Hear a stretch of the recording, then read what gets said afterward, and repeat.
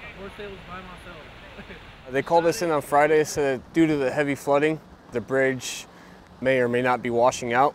And so uh, we were on call all weekend in case the water's raised higher and uh, we were gonna have to come in and, and extend the bridge. Um, luckily that didn't happen and we came in on Monday and they said uh, this is the plan, we're gonna have to extend the bridge two lengths.